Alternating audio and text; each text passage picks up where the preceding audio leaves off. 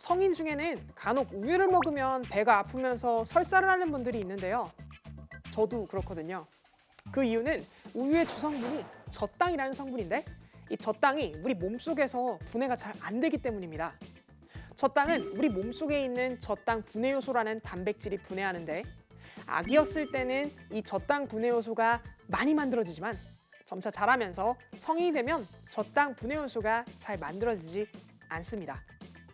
그래서 우유를 먹으면 젖당이 분해되지 않아 설사하게 되는 거죠. 그런데 다른 민족보다 일찍 우유를 마시기 시작한 중동에서는 성인이 돼서도 젖당을 잘 분해하는 유전자가 확인됐습니다. 중동 사람들은 수천 년 전부터 낙타의 젖을 주식처럼 마시기 시작했는데요. 긴 세월에 걸쳐 우유를 마시다 보니 이들의 몸에서도 특별한 변화가 일어났습니다. 몸에 별탈이 나지 않도록 젖당 분해 요소가 성인이 돼서도 잘 작동하게 된 것이죠.